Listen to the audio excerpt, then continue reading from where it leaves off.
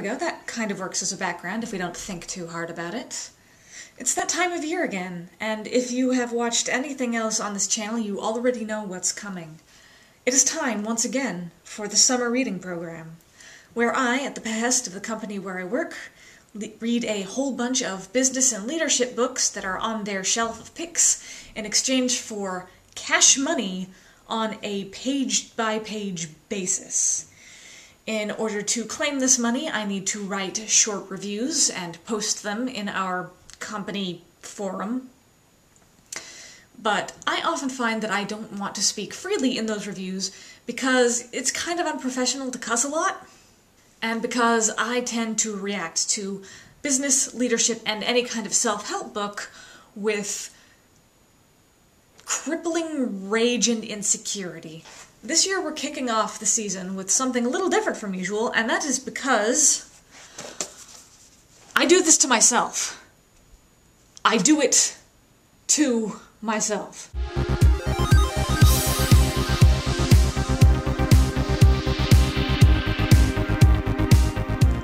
So this is On Being Stuck, Tapping into the Creative Power of Writer's Block by Laraine Herring, author of Writing Begins with the Breath. When I buy uh, motivational books, self-help books for myself, this is always what I'm gonna buy. It's gonna be art books and especially writer's block books because I have been caught in a writer's block of some form or another for 10 years now.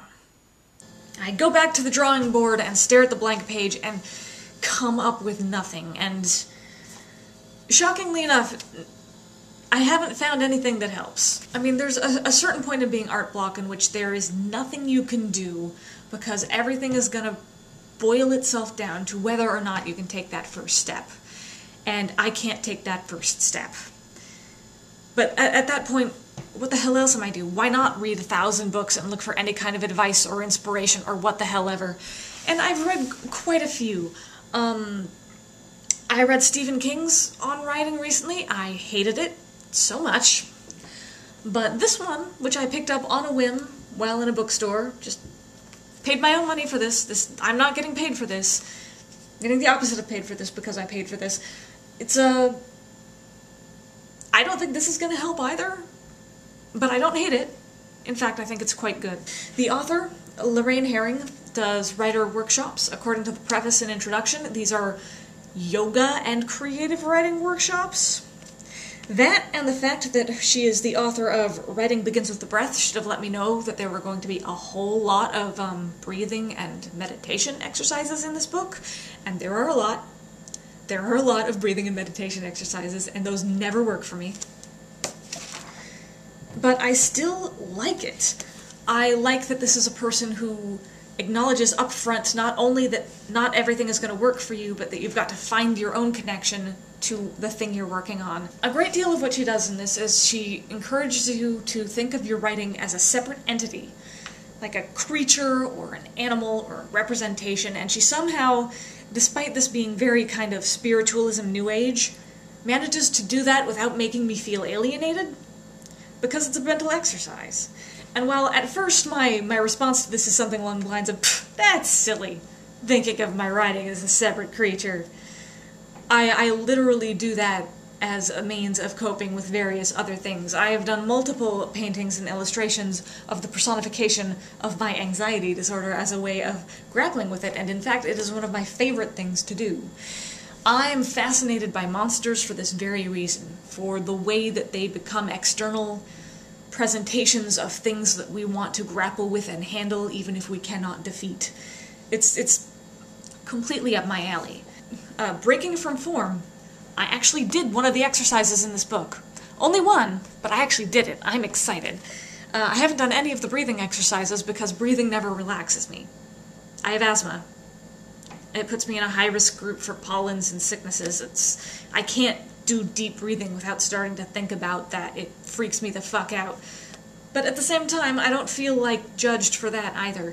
My biggest um, problem with this book is that while she gives you advice and tactics on how tactics on how to grapple things in various parts of your writing process. She doesn't have one for if you're stuck at the starting block, which is where I am. Great, most things don't. Uh, her thesis is that when you're blocked in your writing, it's for a reason. Like maybe you're trying to write a scene that deals with something that you have not processed emotionally, that's that's high stakes for you, and it's worth exploring whether or not that's the case and reaching a conclusion because, well, that's why you're writing about it, is because it's high stakes for you. Things like that, and I love that idea. I like the idea that when you're blocked, it's it's for a reason, and it's an emotional reason that is worth exploring and trying to resolve.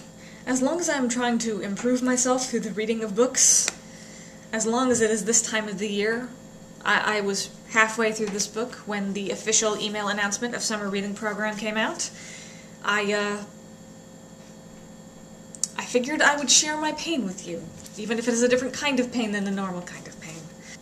And hopefully at some point, between all of the readings of these books, I will actually get outside, actually enjoy some sunlight, actually enjoy some beautiful ocean vistas or lakeside swimming or what the fuck ever. You know, summer things. I'm told there are some.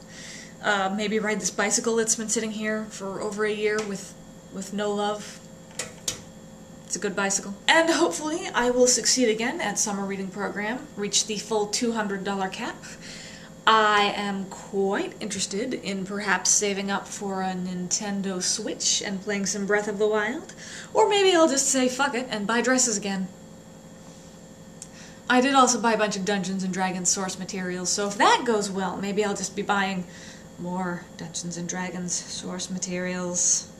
It's gonna be a long summer. I will see you soon.